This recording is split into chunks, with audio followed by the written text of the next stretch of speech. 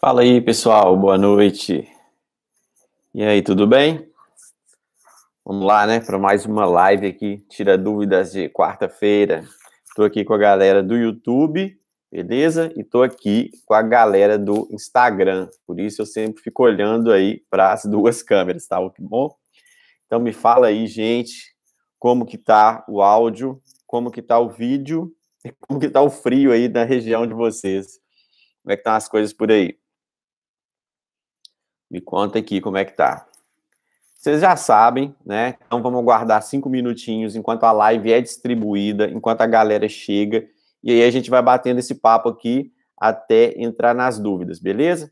Renato já tá aí, o Ribeiro, Novak, Diego Silva, boa noite a todos aí, ó, Diego Capoeira. Aqui no YouTube já chegou Maria Ilma, chegou cedinho, Sara também já tá aqui, ah, quem mais está aí no YouTube? Me dá um, um alô. Ó, a Maria Ilma falou que no YouTube está tudo normal. Renato, frio no Rio está demais. Cara, aqui em Minas também, aqui na minha região, que é uma região quente, região central, tá muito frio também. Hoje de manhã o negócio estava pegando. À tarde deu uma melhorada e agora está esfriando de novo. Ó, Boa noite. Ah, meu amigo Wellington Klein tá aqui na área. Tá sumido, hein? Joelcio, boa noite. Tá frio aí? Aqui tem pinguim de cachecol. Imagina aí, Viçosa é frio pra caramba. Mas quer dizer, mais frio que aqui, né? Roberto, boa noite. John Wood, Atelier, boa noite, John. Marcílio, Diego, aqui em Fortaleza é quente. Fortaleza é sempre quente, né, cara? Sempre quente. Eu vi alguém aí também do Nordeste esses dias aí. Ah, meu amigo, o Luiz, que estava aqui no frio danado conversando com o Luiz na videoconferência. Luiz estava com o ventilador ligado na frente dele e eu aqui de blusa aqui. Ele é de Salvador, lá tá quente também. Salvador não, ele é da Bahia, ele é próximo ali, é, lá tá quente. Aldo, Renê, aí, Gessino, filho. Beleza, gente. A gente começa daqui a pouquinho, tá? Três minutinhos aí, deixa só a galera entrar. Ó, para ajudar a distribuir a live, dá um like aí, beleza? Vai lá, quem tiver no Instagram, curte aí a live. Quem tiver aqui no YouTube, pelo celular, recolhe os comentários, dá uma curtida e volta com os comentários, que aí ajuda pra caramba, ok? Ó, Paulão, boa noite, professor Giovanni, tudo bem? Acabei de entrar na live, abração do Paulão. Naline, de Araraquara. Valeu, Paulão, obrigado aí, tá sempre com a gente aí dia de quarta-feira. Show de bola. Gente, é o seguinte, é... Mauro também tá aí, valeu, Mauro. Mauro lá de Itanhaém, Itanhaém. É isso, Mauro? Itanhaém, Itanhaém, alguma coisa assim, São Paulo. Ontem eu conversei com um cara daí de, de, aí da sua cidade, é o John, John montador de móveis. Eu até postei uma peça dele lá nos meus, meus stories ontem. Cara, muito gente boa, faz montagem de móveis aí na cidade de Itanhaém. Então, quem tiver precisando aí de um montador, olhe lá nos meus stories que tem lá o, o Instagram dele tá? Cara, muito bacana. Sara, eu tô aqui também. Sara tá aí, firme e forte. Davi, boa noite, amigos. Show de bola. Mauro, Tanhaém. Pronto, Mauro colocou ali do jeitinho que pronuncia. Tanhaém. Gersino, Fernando, boa noite. Lúcia, Lúcia HD Santos, acho que é minha tia, tia Lúcia. Boa noite, tá aí na live também. Show, gente, valeu. Ó, vamos lá então, vamos começar aqui. É, Renê, professor, soube que você vai presentear a mim com um curso, dia 13 é meu aniversário. Ô, Renê, ó, faz o seguinte, depois você me chama lá que eu vou te, te dar um presente, tá? Pra você entrar no curso. Você me chama lá no direct. Aldo de Pesqueira, em Pernambuco, boa noite. João Paulo Santos está aí também, boa noite. Davi, Sara, Giovanni, como está a negociação da parceria com o Rei dos Carimbos? Beleza, vamos começar aqui, eu já falo sobre essa parceria, tá? É, vamos lá, gente. Então, olha só. Primeiramente, eu quero pedir desculpas a vocês que eu fiz a divulgação, é, que eu fiz a divulgação do, da live de hoje, que seria sobre MEI, a gente ia tratar sobre MEI. Então, eu abri a caixinha de perguntas, vocês mandaram para mim, já estava tudo combinado, certinho, né, com o especialista lá em contabilidade, que ia falar para a gente, que, como eu disse para vocês, eu não entendo nada de contabilidade, só que ele teve um problema técnico com o computador dele, e também teve um problema de agenda, que ele precisou ficar no serviço até mais tarde. Então, a gente teve que cancelar é, hoje de última hora é, a live, tá? Então, eu peço desculpa para vocês quanto a isso, mas eu já estou vendo aí uma nova data, as perguntas estão aqui guardadas, a gente em breve vai falar sobre isso. Quanto à parceria do Rei dos Carimbos, Renato, estou é, conversando lá com o Júnior, é, direto, conversei com ele hoje, Inclusive, o carimbo que ele vai mandar é, para eu fazer os testes e mostrar para vocês. Inclusive, eu vou até gravar uma aula para colocar lá dentro do curso. Vai ter vídeo aqui no meu canal no YouTube. Vou mostrar tudo sobre o carimbo, sobre a qualidade do carimbo dele, tá? E aí sim, eu vou anunciar para vocês e liberar aí os descontos que o Júnior vai passar para a gente. Então, o carimbo está pronto, hoje estava em fase de acabamento, ele vai enviar essa semana e acho que semana que vem a gente já passa aí os descontos para vocês e eu já passo todos os detalhes a respeito do carimbo.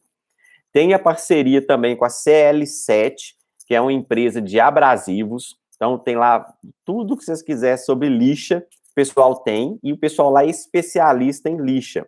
Nós vamos ter uma live com o Júnior da, da, do Rei do Carimbo. Ele vai falar sobre os carimbos, tá? É, vai dar dicas, vamos falar sobre o desconto e tudo mais. A gente vai ter live com a Lauriane e, o, e mais uma pessoa especialista em lixas, lá da CL7, é, abrasivos e ferramentas. Lá não é só lixa, tá, gente? Lá tem cola, tem parafuso, tem ferramentas, tem uma série de coisas. Eu já divulguei na semana passada o site deles e vou divulgar é, também. Lá também tem desconto usando o cupom que vocês vão ver lá, no, lá na loja, tá? Lá no, na postagem. E vai ter também a live sobre MEI. Então, nós estamos com três lives aí com participações especiais que eu vou liberar para vocês aí nos próximos dias. E quem tiver sugestão de assuntos também, ou quem quiser fazer uma live junto comigo, assim, ó, eu sou especialista nisso, eu tenho muita prática nisso, eu tenho muita experiência nesse assunto aqui voltado à marcenaria e empreendedorismo em geral, tá? Me chama no direct lá do Instagram, ou se você já é meu aluno, me chama lá no WhatsApp e fala assim, ó, oh, Giovanni, eu domino esse assunto X e gostaria de fazer uma live aí com você. Vamos embora? Falei, vão nessa, com o maior prazer, tá? Aí a gente marca, divulga direitinho e a gente troca é, conhecimento aqui com a galera, tá bom? É, deixa eu ver aqui. O Davi, o N. Sérgio tá aí, boa noite. Dimas, Romero, boa noite. Não esqueçam dos likes, valeu, Romero. É, olha lá, o Mauro, o Mauro tá falando que semana que vem ele vai lá na CL7. Então, Mauro, você fala que você é aluno da Universidade do Pallet, você vai ter o desconto lá se der, conversa com a Lauriane, é uma pessoa assim, show de bola, gente finíssima, tá? Samuel, boa noite, sou novo aqui, trabalho numa agroindústria e lá eles jogam fora pallets que vêm as embalagens. Posso usar eles? Ô, Samuel, é, é, o que que vem nesses, nesses pallets, cara? É produtos químicos? Tem que ver, viu? Tem que ver direitinho que produto químico é esse, se ele é muito tóxico, se costuma derramar produto químico nesse pallet e até mesmo aonde você vai usar, tá? Tem que ver essas questões aí, para ver se vale a pena ou não, ver se o risco é reduzido. Não tenho como trazer ele inteiro, desmonto eles para trazer, precisa escolher bem certo pallet, ou pode ser qualquer um. Cara, você está ganhando aí matéria-prima que dá para você tirar uma grana legal. A bolsa para ensacar farelo. Ah, não, então é tranquilo. Trigo de soja, entendi. Não, tranquilo. Esse pallet aí você pode usar tranquilo. Então, show. Você desmancha lá na indústria, escolhe as réguas, tá? Não tem essa de um modelo, independente do modelo, você vai ver a qualidade da madeira. Ou é pinos, ou é eucalipto, você olha a qualidade da madeira, desmonta e já leva essas réguas para casa para trabalhar. Cara, show de bola. Você achou aí uma mina de ouro. Tenho certeza que tem muita gente aqui que, ó, regalou o olho a hora que você falou isso aqui. É, ontem mesmo, numa publicação minha, um cara falou comigo lá nos comentários: ó, fazer as peças está até fácil, difícil é conseguir os pallets. Ele é lá do Paraná, ele é do Paraná, esqueci o nome da cidade. Então, assim, tem locais que tem uma certa dificuldade aí, o pessoal tem uma certa dificuldade em encontrar. Mas no seu caso, Samuel, show de bola, viu? Vai para cima aí e trabalha bastante. É, deixa eu ver aqui. Deixa eu ver aqui o pessoal andou falando. Deixa eu ver aqui no Instagram.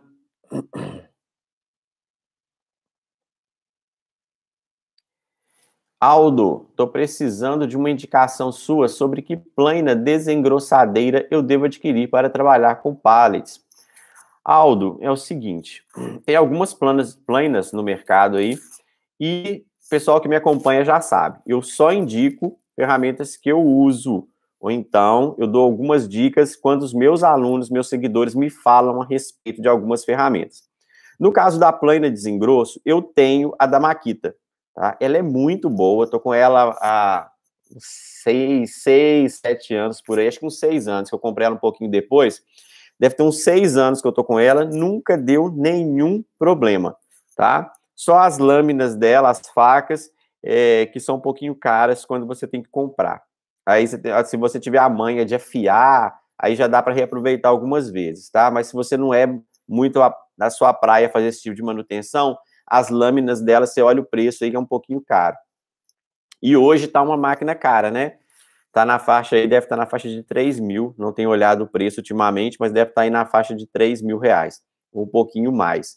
Mas eu recomendo essa da Maquita. Tem outras, né? Tem da Deval também, que acredito também ser muito boa, tá? E quem tem plana desengrosso de outras marcas que tiver aqui na live hoje, comenta aqui para a gente, para a gente passar para o Aldo, ok? Que esse é um dos objetivos da live, né? Eu estou aqui tirando dúvidas como intermediador, mas a ideia é a gente trocar experiência. Então, me ajudem aí, quem tiver plana desengrosso de outras marcas me fala aqui que a gente vai repassar para o áudio e tem certeza também que pode ser a dúvida aí de outras pessoas, tá bom?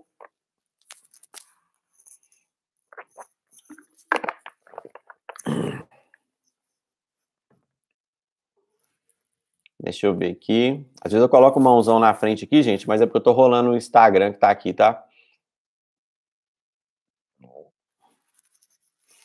É, vamos lá, vamos lá. Roberto tá aí, o Sérgio Leite. Gente, Sérgio Leite é um exemplo daqueles que eu falo. O cara entra na marcenaria, na, principalmente aqui na marcenaria com pallets por hobby, e tá lá lotado de pedido. Toda semana o Sérgio me manda lá as fotos da produção dele que tá em alta. Não tem jeito. Ó, deixa eu ver aqui. Paulão. Joelcio, por favor, vai no meu Facebook. É o Paulo Nalini, de Araraquara. Não entendo muito de internet. O professor falou, mas não consigo ir no direct, desculpe. Lá você vai ver o suporte de violão. Então tá aí.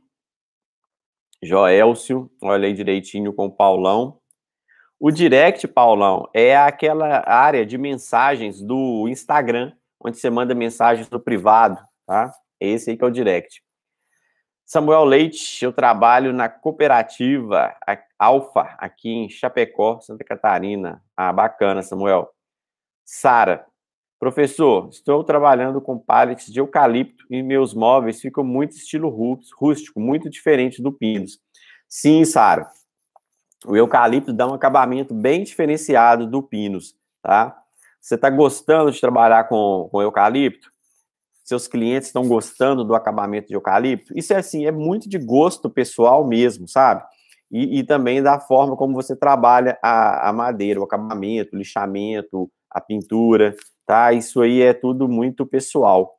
É até tecnicamente o eucalipto é uma madeira melhor que o pinus, né? Ele é mais denso, ele é mais resistente, inclusive para fazer, por exemplo, peças para área externa, um jardim vertical, uma coisa assim, às vezes é até legal você usar o eucalipto, que ele é mais resistente a essas intempéries aí.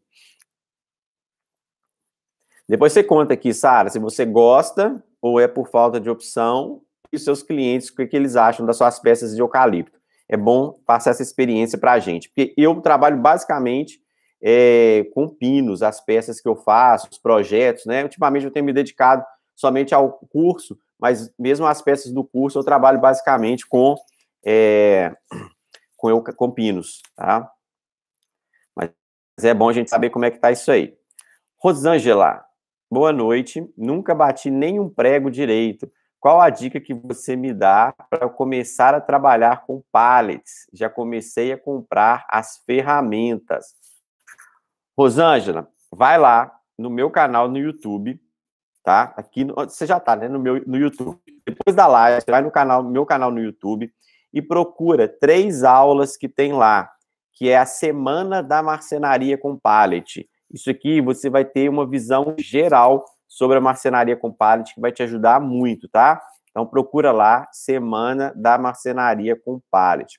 Além disso, depois você pode ir lá no direct do Instagram e me chamar lá que eu vou te ajudando nesses pontos aí, tá ok? E quem sabe daqui uns dias a gente tem você lá das nossas turmas da Universidade do Pallet ou do Decorando e Faturando, tá bom? É, marcenaria Criativa, boa noite.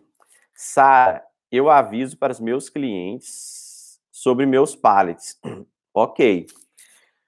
É, o Mauro, meus clientes estranham quando faço peças com pinos estão mais acostumados com eucalipto. Ah, legal, Mauro. Interessante saber disso. Interessante, porque aqui na minha região e a maioria das pessoas que eu converso, normalmente é o inverso. O pessoal está mais acostumado com o pinos, tá? Inclusive o pessoal gosta muito do móvel clarinho, né? Aquele pinos mais branquinho. Eu até prefiro é, mais na cor natural, mais rústico e tudo, quando eu faço algum projetinho assim, do que ele bem clarinho. Mas aí é, tudo é, é gosto, gente, tudo é gosto. É... Adriano, eu trabalhava com pallet de eucalipto, gostava mais do que pinos, porque é mais resistente. Ok. Infelizmente, parei de trabalhar porque não encontro mais nenhum dos dois. Pô, Adriano, que isso? Qual que é a sua região, Adriano? Só para a gente saber que dificuldade é essa que você está aí de encontrar pallet. Rosângela, obrigado, se Deus quiser. Com certeza, Rosângela. Pode contar com a gente, se Deus quiser, você vai estar tá lá na nossa turma. Ó, deixa eu ver aqui o pessoal do Instagram. O que, que a galerinha andou falando aqui? Ah,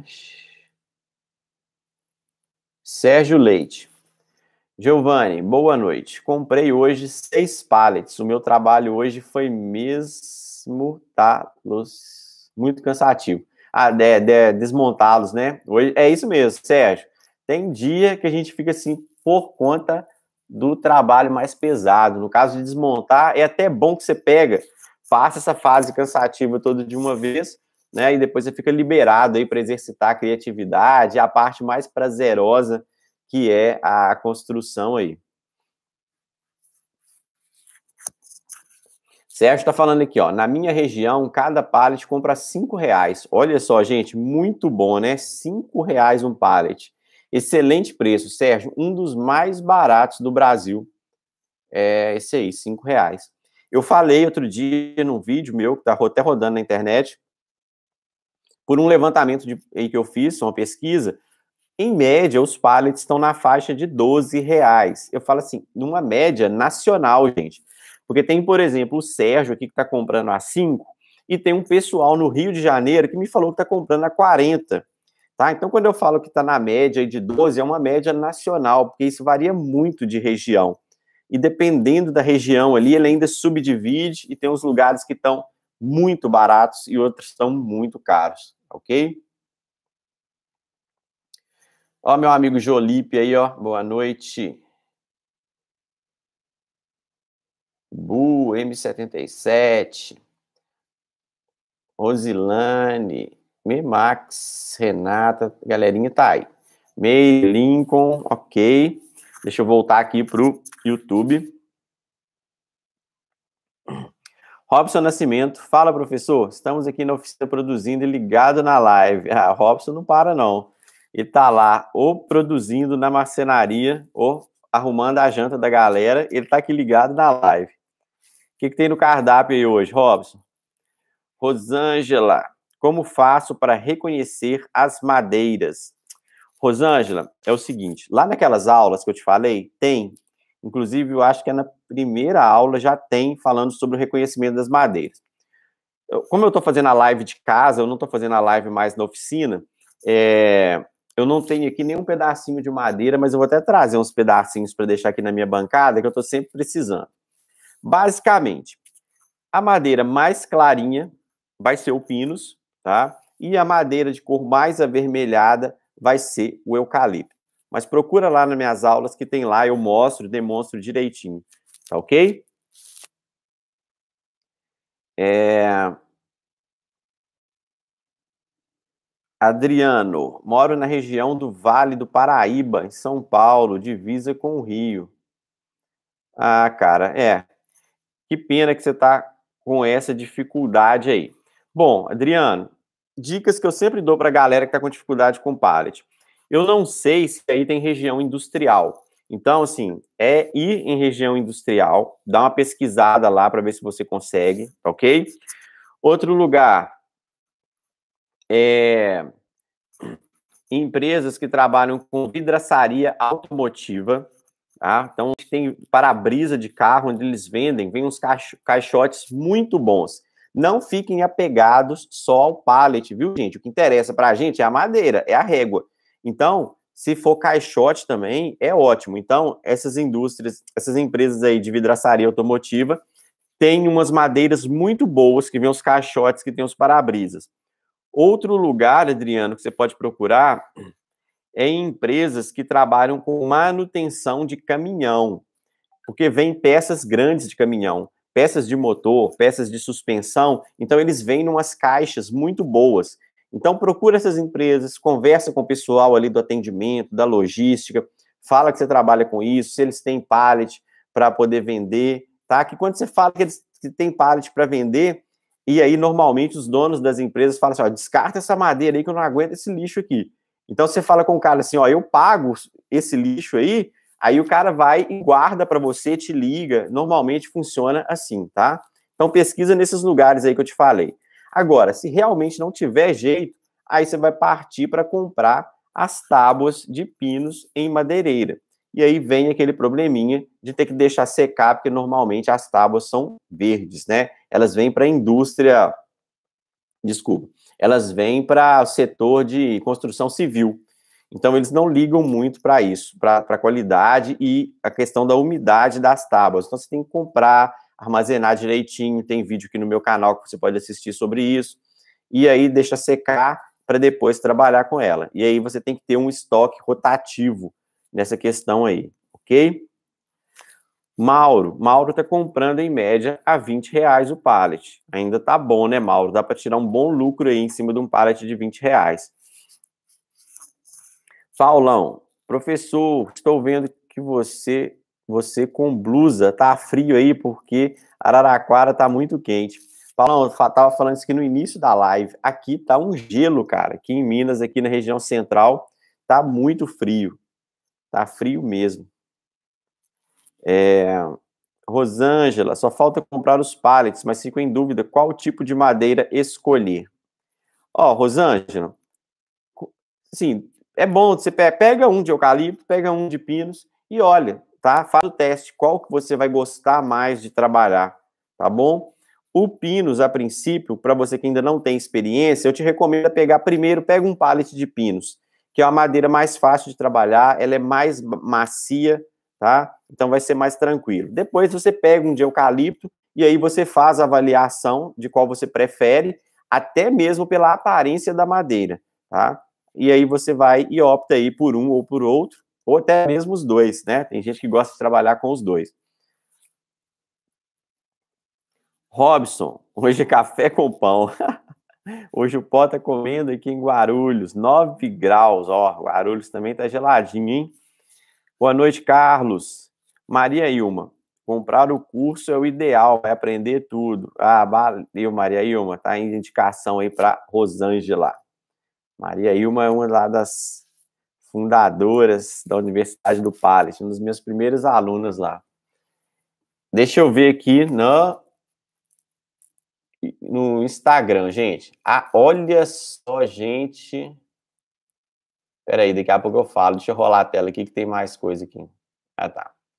Ó, então entrou uma galerinha aí, a Renata, a Meire, o Lincoln, Temista Soares, Renê. Renê tá falando assim, ó, um pallet que comprei foi 30. Achei mais por aqui entre 10 e 20, a 20 mas gostei muito de uns de 12, eu sou de Recife. Legal, Renê. 12 reais é um preço muito bom para se pagar aí no pallet.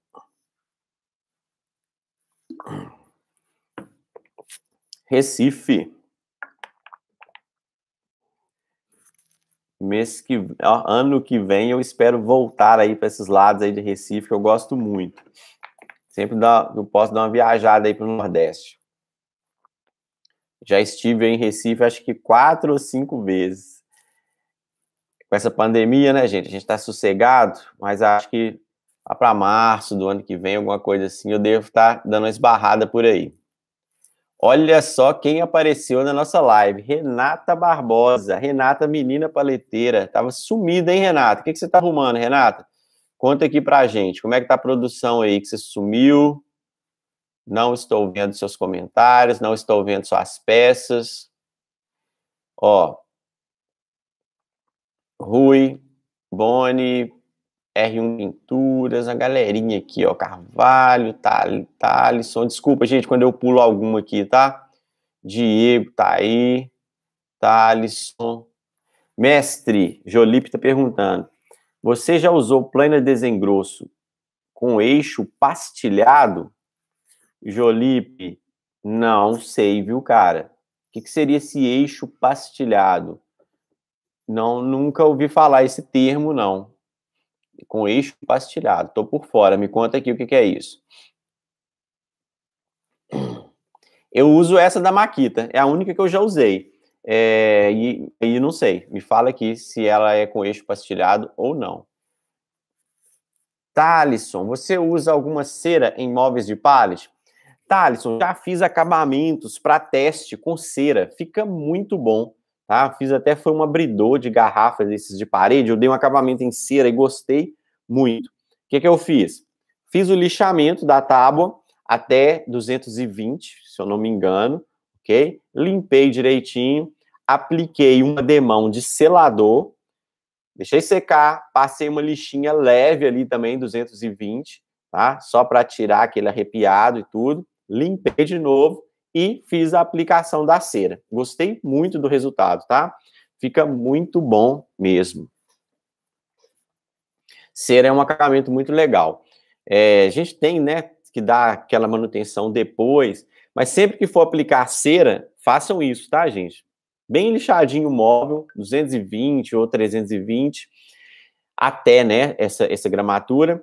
Depois, aplica pelo menos uma demão de selador. Acho que uma demão normalmente é suficiente. Uma lixadinha de leve ali com a mão mesmo, tá? Uma lixinha também, a última que você usou.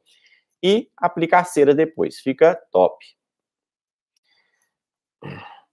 É, deixa eu ver aqui. Talisson. Você usa algumas. Ah, não, foi essa, foi essa que eu respondi do Thales. Então é isso. Renê. Renê tá ali. Venha-se embora. Vamos lá, vamos aí. Essa terra boa. Tiago. Boa noite. É normal pinos ficar grosseiro e de... depois de passar verniz? Mesmo lixando bem, meu pinos arrepia depois do verniz. Tiago, o negócio é o seguinte: a madeira, quando ela Você lixou ela, tá? Isso é normal para todas as madeiras. Você lixou ela e depois ela pega qualquer umidade, tá? E quando você passa verniz, você está aplicando também umidade, umidade ali na madeira. Então ela pegou qualquer umidadezinha, ela arrepia. Então o que, que você tem que fazer? Na primeira demão, ali no caso de verniz, tá? Principalmente.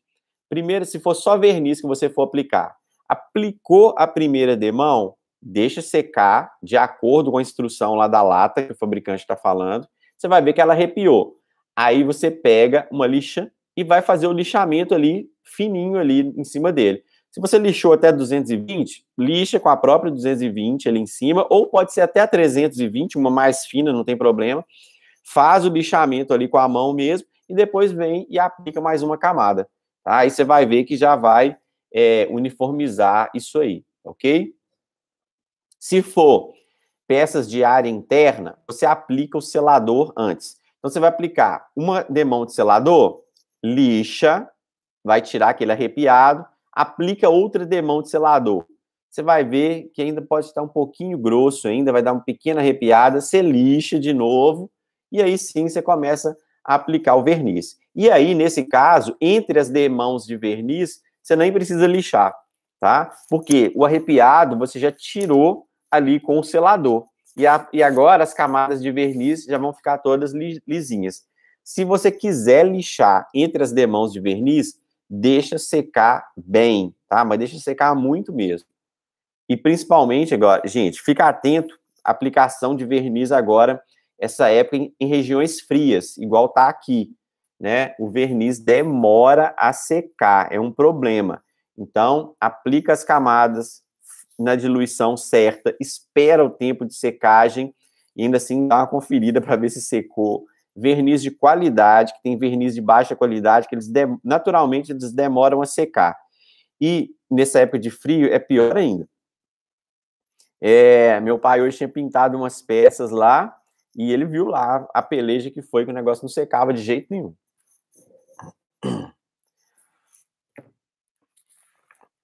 Só um minutinho aí, gente. Beleza, Tiago? Então segue essas dicas aí que vai dar certo. Arte de garagem, Galvão, personal, Murilo, Renata. Então, tá bem corrido por aqui, graças a Deus. Muitas encomendas, peças saindo. Show, Renata. Fico feliz de saber. Renata era da mentoria também. Galera da mentoria, vou marcar com vocês semana que vem, provavelmente terça-feira, às 19h30 para a gente bater aquele último papo sobre a mentoria, ver o que, que vocês aplicaram, o que, que deu certo, o que, que não deu. Eu fiquei devendo isso para vocês, tá? E aí eu quero ver se Renata já bateu a meta dela. Jolipe. Eixo pastilhado em vez de facas. São várias pastilhas de metal duro. Cara, Jolipe, isso para mim é novidade. Não conhecia. Vou até pesquisar, tá? Não conhecia mesmo. Legal, valeu aí. Se alguém já usou, gente, comenta aqui o que, que achou sobre o desengrosso, que ao invés de faca, são várias pastilhas de metal duro. É o desengrosso com eixo pastilhado. Comenta aqui pra gente. O Talisson, qual o tipo de cera que você usa? Talisson, é, eu já cheguei a usar aqui uma cera de carnaúba própria para móveis, bem naquela lata grande mesmo, tipo as latas de cera que vende no supermercado, e também a cera branca, aquela que vende no supermercado a lata, cera inglesa, né, cera, aquela lá, o pessoal passa em piso, passa em móveis, tá? Essa mesmo, cera comum. Existem várias ceras especiais, mais tecnológicas e tal, mas essas ceras aí funcionam bem, tá? Funciona muito bem. É, Matilde, o RPC Rústico, tá aí, Roberto, Simone, galerinha. Ó, deixa eu rolar aqui que entrou muita gente. Tiago, obrigado, disponha, meu caro. Então, pessoal do Instagram parou ali, ok? É, deixa eu ver aqui no YouTube. Tô voltando aqui pro YouTube, tá, gente? Galerinha do Instagram deu uma parada ali. Vamos voltar aqui. Deixa eu ver aqui. Nossa, rolou muita mensagem aqui. Peraí. Ah, tá, tá. Joelcio, quais são os modelos de grampo que você su sugere? Estou precisando comprar. Joelcio, você está falando de grampo mesmo ou do pinador? Fala aqui. Aí tem que ver, cara, vai depender é, da espessura da madeira que você trabalha. E se variar muito a espessura, você tem que comprar é, de acordo com as espessuras. Você vai comprar ali de 30 milímetros, de 35 milímetros, de 40 milímetros, tá? Então, olha, pega duas tábuas, olha quanto vai dar de junção ali e compra ali os, os, os pinos, tá? Acho que é disso que você está falando. Mauro, temperatura na Baixada Santista, 11 graus, tá frio também. Outro dia, Mauro postou a foto ali, todo agasalhado. É, Samuel, o que dá para construir com cinco pallets? Cara, com cinco pallets dá para construir muita coisa, principalmente se for peça pequena, né? Você vai construir aí bandeja, porta-conta, porta-chave, você vai construir adega. Cara, é muita coisa. Você vai construir banco, você vai construir sapateira, painel de televisão. Dá para fazer uma infinidade de coisas, tá?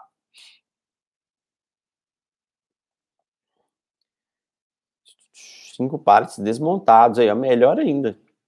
Ronaldo Cruz, Ronaldo de Barretos, abraço, Ronaldo, boa noite aí para você. Rosângela, outra dúvida. Eu estou com dificuldade em encontrar um espaço para trabalhar. Será que precisa de um espaço grande? Ou tem como trabalhar em frente à minha casa? Rosângela, essa questão do espaço aí é o seguinte: não precisa de um espaço grande. O que eu indico para vocês é comecem com o que vocês têm em mãos, tá? Se você for esperar um cenário perfeito para começar, você nunca vai começar nada. Então, olha só, seu espaço é pequeno, então você vai começar a produzir peças que se adequem ao seu espaço. Então, você vai começar a produzir peças pequenas. Então, começa com essas peças que eu falei, por exemplo, com bandeja, com floreira, com cachepô, com jardim vertical pequeno, tá? Então, começa com essas peças, tá? Principalmente se a sua questão for por renda extra, se você estiver é, produzindo por renda extra. Começa com essas peças, começa a divulgar, começa a vender, começa a colocar dinheiro no bolso, tá? E aí você vai aprendendo, vai criando estratégias aí, e daqui a pouco pode ser que você vá construir ali o seu espaço na sua casa, tá ok? Vai construir a sua, a sua oficina do tamanho maior, sempre adequada ao seu objetivo. Não adianta falar assim, ó, ah, vou construir um galpão enorme e depois falar assim, não, eu só vou construir, eu só vou produzir peças pequenas, eu trabalhando sozinho, não vou ter grandes, grandes estoques, poucas máquinas, então tudo assim. Faz um planejamento primeiro para depois você investir, tá? Começa pelas peças pequenas aí, vai sentindo como que a coisa funciona, que no, rapidinho você consegue engrenar, tá? Dá para trabalhar super tranquilo numa varanda, numa área de serviço, numa garagem, dá para trabalhar assim muito bem, tá? É só você pensar nisso. Você tem que se adequar, tem que adequar o seu trabalho ao espaço que você tem.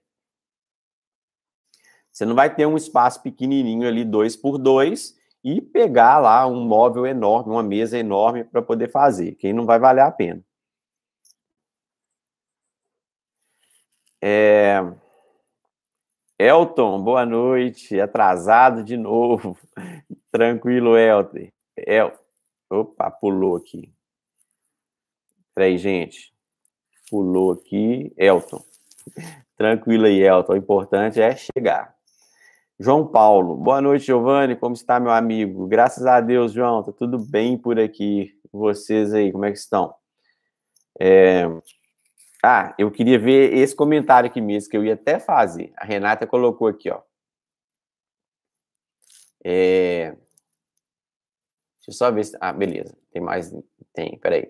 Renata, Renata Barbosa, menina paleteira, colocou aqui, ó. Eu comecei no céu aberto, depois fiz um de lona e depois já tem um barracãozinho e já tá pequeno, tá?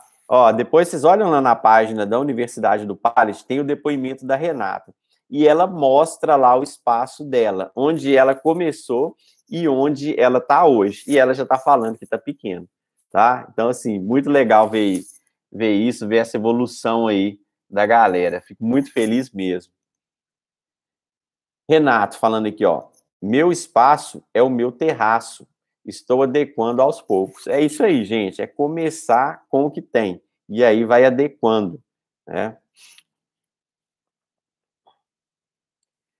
Ah, deixa eu ver aqui.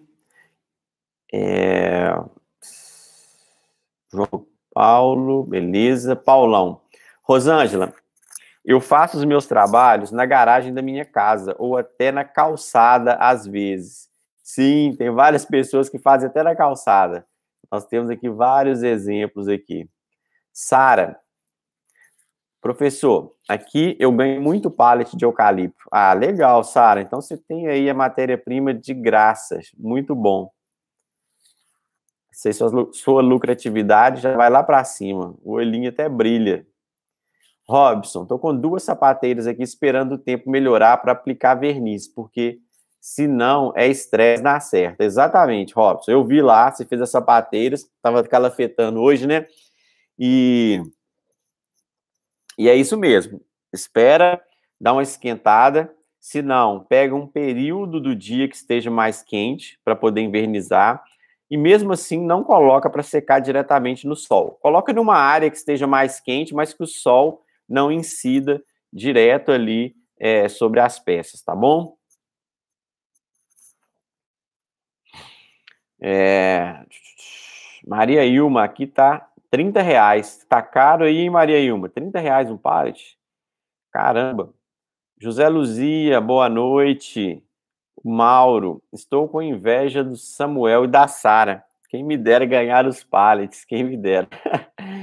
é mesmo, cara quando a gente ganha assim essa matéria-prima é muito show.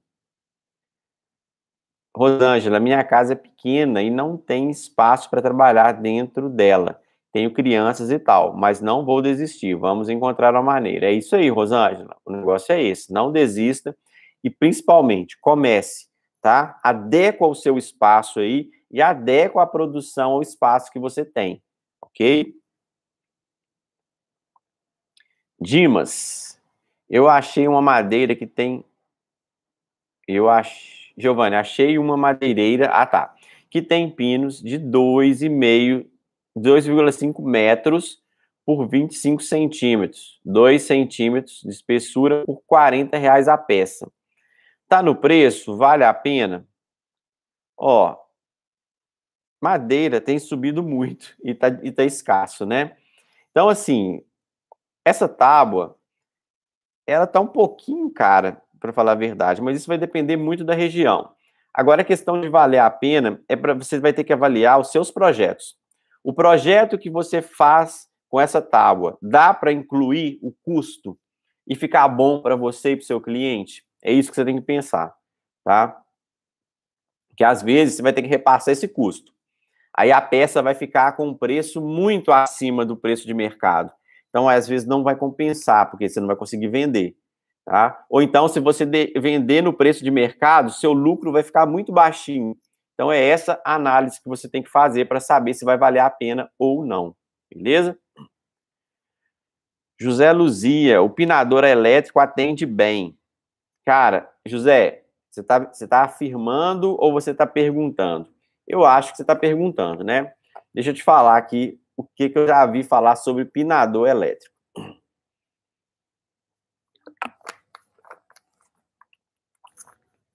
Eu não tenho experiência com pinador elétrico. É o que eu falo. Eu só gosto de falar daquilo que eu tenho experiência. Mas eu já pensei muito sobre o pinador elétrico. E o que que eu vi? Que eu pinador elétrico compensa que eu vi o pessoal falando são aqueles mais top, aqueles mais caros, tá? Que tem uns pinadores elétricos mais baratos, o pessoal falou que não compensa porque ele não tem força suficiente para pinar. E aí, por isso, o pessoal opta mais pelo pinador pneumático, ok? Então, se você está disposto a pagar um valor mais alto no pinador top, até onde eu vi, tudo bem. Agora, se você estiver procurando por um barato, é mais em conta, aí pelo que eu os comentários que eu já li, é, não vale a pena, ok? Mas procura a opinião de quem tem, assiste alguns vídeos na internet, e se por acaso alguém que está aqui na live usa pinador elétrico, passa aqui a opinião para a gente falar para o José Luzia, ok? Gente, deixa eu ir aqui no Instagram, que tem pergunta aqui, depois eu volto no YouTube. É... Tiago, já pensei nessa possibilidade de tábuas já aparelhadas, de 30 por 3, mas no final não vale a pena. É, Tiago, fica muito caro, o pessoal cobra muito caro nas tábuas aparelhadas, né? Já são tábuas que vêm sequinhas, de melhor qualidade, e eles ela aparelhada, então o preço vai lá em cima. Então acaba que você não consegue repassar isso aí no custo do projeto. Ó, Diva tá aí presentes, o Cleiton, Serrote empoeirado, boa noite para vocês aí. Gil. Opa, deixa eu ver aqui, gente, onde é que eu parei? Aí, ó. Não aguento quando faz isso. O negócio pula aqui, eu perco tudo do que eu já li. Ó, vamos lá, vamos lá. Boa. Ah, aqui, ó. Gilvan.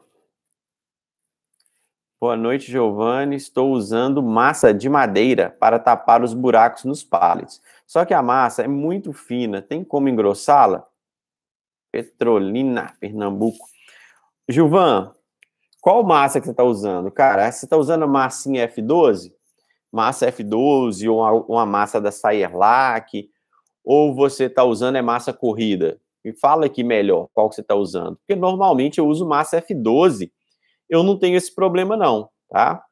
Você pode usar também é cola para madeira, a cola branca, com o pó da madeira, né? E umas gotinhas de limão ali para não oxidar e escurecer. Então, pode usar tanto massa quanto essa combinação aí de cola com o pó, ok? Me fala aqui qual massa que você está usando. É... Dimas, beneficiada e seca na estufa. É, tá. Dimas, você está falando das tábuas, né? Beneficiário de seca na estufa. Agora, eu não sei se você pegou gancho aqui no comentário de alguém ou no meu, ou na minha fala. Eu fiquei meio perdido aqui com sua frase. Qualquer coisa você manda aqui embaixo, tá, Dimas? Joelcio, galera, não esqueça dos likes. É isso aí, Joelcio. Valeu, cara. Ajuda demais a distribuir o conteúdo aí nas redes sociais. Robson Nascimento. Galera, cuidado com o armazenamento com armazenamento em calçada. Aqui eu fui notificado pela prefeitura e tive que desfazer de 35 pallets. Doei para um rapaz fazer seca. Ah, sim, claro. É deixar madeira na calçada, coisas na calçada, isso aí é, é complicado. Isso aí não, não rola, não. Pode cair numa situação dessa aí. Dalva, boa noite, Dalva. Rosângela, na minha cidade, os pallets estão de 13 a 15 reais. Preço muito bom, viu, Rosângela? Paulão tá até falando aí, ó, tá bom o preço. Adriano, pessoal, não esquece de deixar o like, ó. Obrigado, gente, por estarem lembrando aí de, de dar o like. Rosângela, minha filha, Hanna, está mandando um oi. Ela tem sete anos e é bem interessada em artesanatos. Creio que terei em breve uma ajudante. Bacana, Hanna. Beijo para você e eu espero aí em breve que você esteja ajudando sua mãe aí a pintar as peças. Fala com a sua mãe para mandar a foto para mim, que eu vou divulgar lá no meu perfil no Instagram, beleza? E vou te marcar lá. Show de bola, Rosângela. É, Ilma, Ilma Maraj, Il, Maria Ilma, tá aqui. Eu tô trabalhando badalada a vantagem é a divulgação.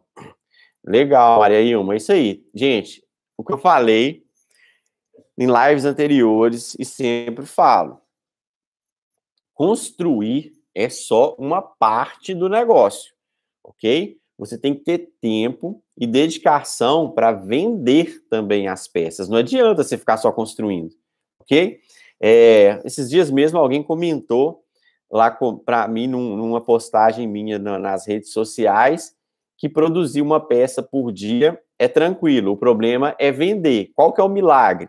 Olha, gente, não tem milagre, tá? Tem investimento e tem estratégia. Se você só produz uma peça por dia e fica lá na sua oficina esperando alguém entrar e comprar, isso não vai acontecer. Então, você tem que estudar, você tem que ir para as redes sociais, você tem que criar uma estratégia, você tem que fazer um investimento, né, para poder vender todos os dias. Você tem que tirar dinheiro do bolso para vender todo dia. Você tem que fazer divulgação. Você tem que. Pode ser é, divulgação local? Pode. Pode ser um panfleto, pode ser um cartão, pode ser um cartaz, pode ser um, é, visitas que você vai fazer a lojas, fazer a clientes, pode ser um carro que você vai colocar suas peças e vai expor em algum ponto, uma feirinha que você vá. Se você for para a internet, você vai postar nas suas redes sociais, ok? No seu Instagram, no seu Facebook, no WhatsApp. Mas você quer vender todo dia, então você vai ter que pôr dinheiro, você vai ter que pôr publicação paga para que essas peças, a, a imagem dessas peças e as suas postagens alcance mais pessoas. Então, assim, não tem milagre. É estudar, ok? É criar uma estratégia e fazer um investimento em cima dela, seja um investimento financeiro ou seja um investimento de tempo, tá? Com o investimento financeiro, você vai mais rápido, ok? Então, não tem milagre. O lance é esse, é estratégia e investimento. E fiquem ligados, produzir é só uma parte do negócio. Tem que focar também em vender, tá? José Luzia, professor, comprei umas, comprei umas tábuas para começar, porém comprei umas molhadas. E hoje fui olhar e estão com aquelas manchas verdes. Tem algum problema em usar? Como limpar? Cara, isso vai te dar problema sim, tá? Faz o seguinte: tem um vídeo aqui no meu canal no YouTube. Vai lá, como secar tábuas de pinos, como armazenar e secar tábuas de pinos. Assiste esse vídeo que ele vai te responder todas essas suas dúvidas de uma maneira completa e ilustrada. Vai ser bem melhor do que eu falar com você aqui rapidamente na live, tá bom? Então, vai aqui no meu canal e assiste esse vídeo. Como armazenar e secar beleza? Galera, olha só, quase uma hora de live. Deixa eu ver aqui se tem mais alguma coisa. É... Olha só. Espera aí, gente. Deixa eu ver aqui.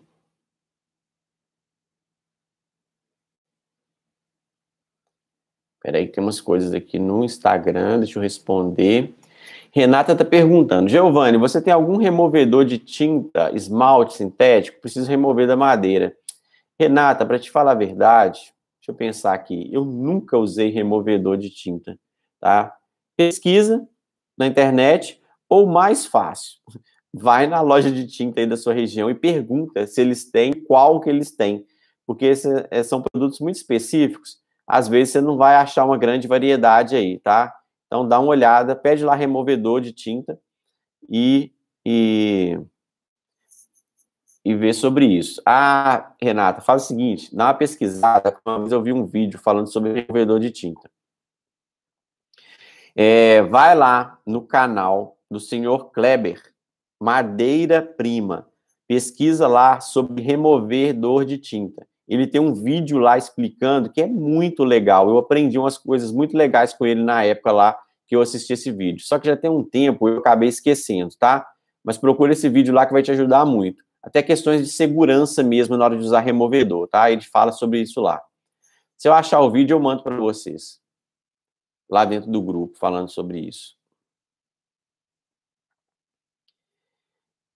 Em Itu, tábua de pinos, 3 por 29 por 2, 55 reais. Aí, bem carinho, hein? Serrote empoeirado, tá bem caro aí.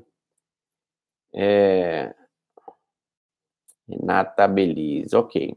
Gente, então olha só, tô encerrando aqui no Instagram, tá? Não vou voltar aqui mais não, vou só encerrar aqui no YouTube para a gente finalizar a nossa live. Já tá dando uma hora aí. É... Professor. Tá. Gilvan. Na lata está escrito massa para madeira, complemento imobiliários. Ô Gilvan, pode ser, cara, qual que é a marca? Pode ser a qualidade da massa, tá? Procura pela massinha F12, que é uma latinha verde com a tampa azul. Ela é, a qualidade dela é muito boa, tá? Pode ser a questão da qualidade aí da massa. Depois me fala que marca que é. Ah lá, o Mauro tá falando aqui, Renata, ó, striptease da Sayerlac remove tintas. Bacana. É, Rosângela, certeza, vamos sim, show. É, o Dimas, as tábuas que falei de 2,5 por 25 por 40. Ah, tá, beleza. As tábuas que você citou lá, elas são beneficiadas e secas. Legal. Tá, então tá assim. Então, já está dentro, mais ou menos dentro do preço, viu, Dimas? Tá? Já é, já é melhor, ok? Nesse caso aí já, já melhora bastante. Então é isso aí, gente. Show de bola. Brigadão mais uma vez por estarem aqui, dividir essa experiência conosco, com todo mundo aí. É muito boa essa live aqui das quartas-feiras. Show demais. Brigadão. Boa noite. Qualquer coisa, vai lá no direct do Instagram. Meus alunos têm meu WhatsApp, vai lá, me chama, beleza? E quem quiser fazer uma live comigo, falar sobre algum assunto, é só me chamar lá no direct ou no WhatsApp, que a gente marca aqui, combina direitinho e troca experiência aqui com essa galera, tá ok? Gente, muito boa noite, fiquem com Deus, boa semana aí para todos, muita produção, sucesso, tá? Forte abraço aí.